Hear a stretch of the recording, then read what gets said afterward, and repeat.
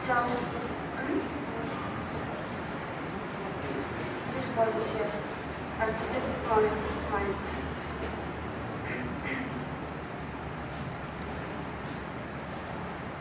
And uh, again, you can see church built more or less in the same uh, architecture as the blocks. And uh, here you can see sport complex, but people who are like passing by, they have nothing to do really with this complex. They still like live in uh, other age, in other period. And this is a new symbol. But if you can see closely to it, it's already, it's not solid already. I don't know if you can feel it, but it's really something wrong with this. It's not so strong and style is slightly wrong. But um, I was really surprised to see that they started to paint it all over again. Uh, if you look at the face, you can see that it's like um, it, it's not good enough. It's not strong enough. But uh, they still they started to produce again these uh, solid symbols. Yeah. Next piece is a decoration and colorful blocks. So uh, if they wouldn't decide to color them, we would look probably a little bit like uh, blocks we can see here, but we have everything colorful, very, very colorful. Yeah. But again, about that, something wrong. So this is more like normal landscape, how what is reality around the city. And this is again reality. And with this I wanted to, to finish this presentation. Uh, for me, this is how time stopped in my country. It's not a sand clock anymore, but it's like bottle, and uh, time is just going into the bottle and somehow frozen for a while. Thank you.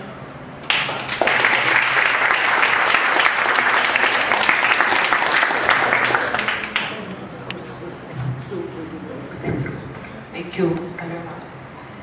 Time for questions. Um, I was just amazed by uh, this uh, one of the last pictures with the hammer and sickle, and I would like uh, if you could elaborate a bit on that. What what does it mean? Why, why do we do they repaint that? Not declaring uh, in open way that uh, we continue our socialist traditions or traditions of Soviet Union.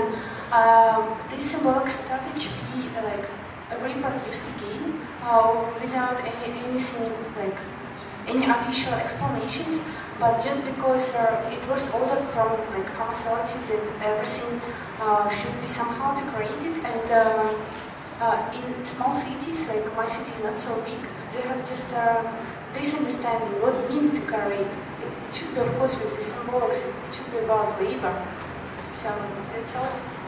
And uh, of course, from uh, their experience and from their point of view, it was uh, the strongest period and the strongest symbol, symbolic, so that's why. More questions?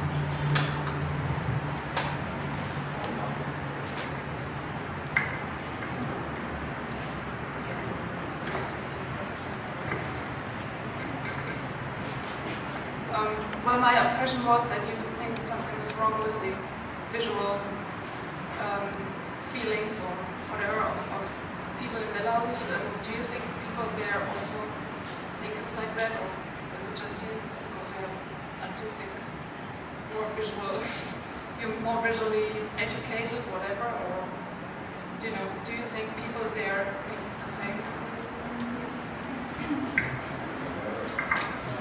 Uh, I think I started to recognize it more and more when I left country because when you live inside, you simply you live in your country and you, you don't pay attention on this because it's just one you have.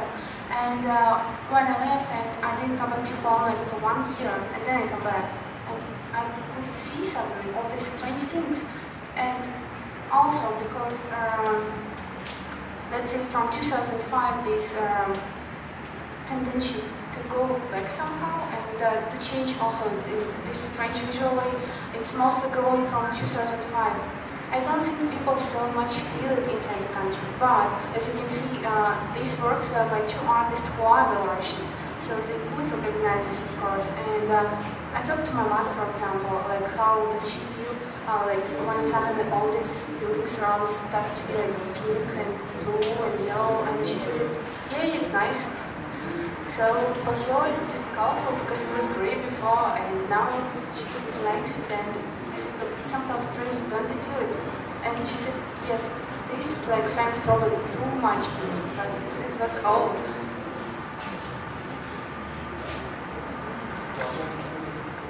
More questions?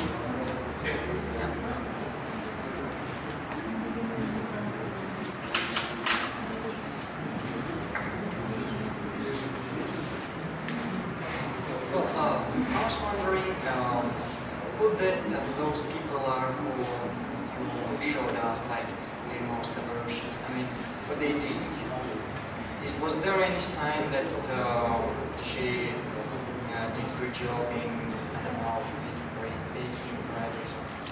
Because in the Soviet period there was something like a strong person who uh, collected more tea than she should have to collect it. Yeah?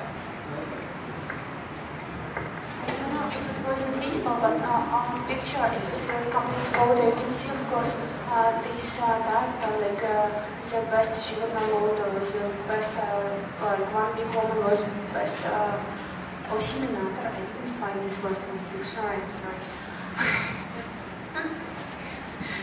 so, um, yes, it, it's written, what did? And then did some newspaper. Uh, or something like that.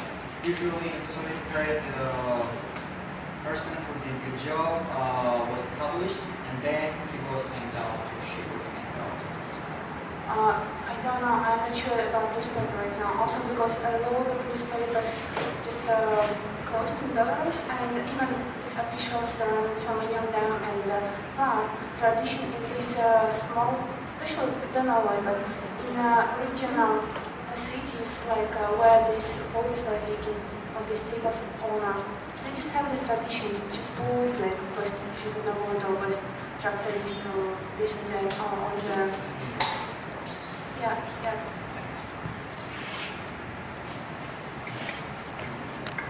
I guess we don't have really more time for questions, but maybe later on. Yeah, no, thank you very much.